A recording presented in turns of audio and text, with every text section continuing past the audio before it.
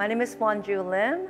We are at the San Jose Museum of Art. This exhibition is titled California Dreamin'. In this exhibition are five pieces. There is this big installation, there are three lightbox pieces, and a sculpture.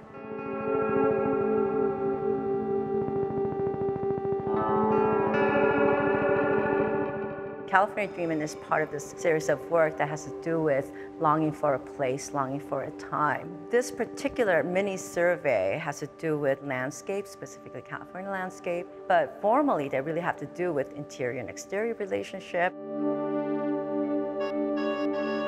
I wanted to be an architect. You know, I, I, studied architecture maybe a couple of years after I realized that architecture as a practice was not something that I was interested in, yet I was still interested in the formal and the theoretical aspects of architecture. I feel like I'm still pursuing architecture and all the conceptual and the formal aspects of my work really deals with all the things that I've been interested in. I think about my practice as it's kind of a branching. I think like my interest in architecture might be the root, you know, and that it branches off to different areas that have to do with architecture. And then often the branches meet and then they also then depart again if I were to be an architect, I wouldn't have as much freedom and, and, and equally as much um, challenge. You know, what is the essence of something? What is the, the, the poetics of architecture? When I think about that, I think you know, there's a way to abstract that. You know, so it's not abstraction as um, necessarily moving away from representation, but representation standing in for something that is really important and, um, and you know, something that is real, such as architecture in this case. California Dreamin' has three video projections and uh, something like 140, 150 architectural models. And these models are made of plexiglass and foam core boards. And at the time when I made this piece in 2002, early 2000, there were like a lot of these kind of catalogs that you could buy at Home Depot. And the catalog comprises a floor plan that you could order. You could use um, the catalog to order the blueprints. These models are from the floor plans that you could see in the catalogs. I often use ephemeral, dispensable, everyday materials. I'm interested in, you know, kind of showing what's inherently in the work. So for example, light coming from a video projection, creating moving and still images, I use this uh, to, to interact with this kind of um, everyday disposable materials such as plexiglass and foam. And what we may take for granted that's inherently in the material because it interacts with light creates shadows and reflections and refractions and silhouettes that's part of this installation.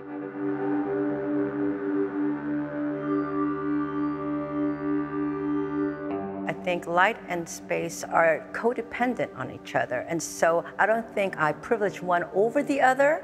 I don't think about one before the other. I think, you know, a spatial interaction is very much part of you know, how light interacts. The video projection itself, I think about it um, as a medium. The projection itself is medium that becomes, you know, a really inherent and important formal language in the installation the interaction between the subject and an object and the work is something that happens at so many levels. And I think about this a lot. As the subject in space navigates around, you know, and moves throughout this exhibition space, they experience a moment, and then, you know, the, the viewer could be walking around and come back to the same moment, then get a different kind of experience. I'm really interested in that. There is a suspension. There's a suspension of where you are, but also who you are and we're not able to locate ourselves geographically, um, spatially,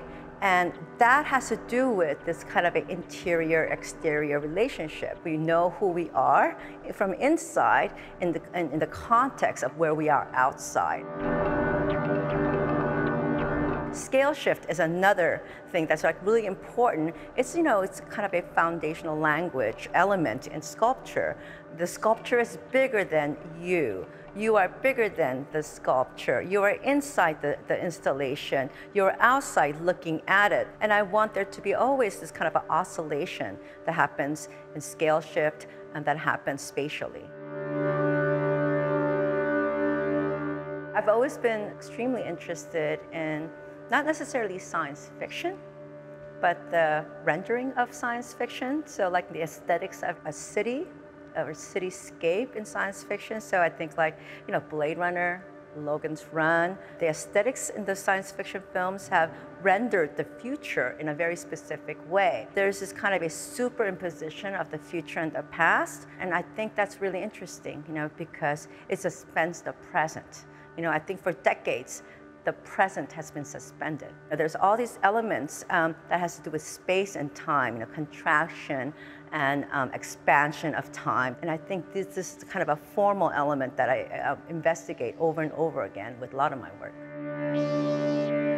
I'm definitely influenced by cinema. I'm influenced by, you know, for example, what is filmic time? What is filmic space? So there's all these kind of like things that have to do with time and space without creating a specific narrative of any kind.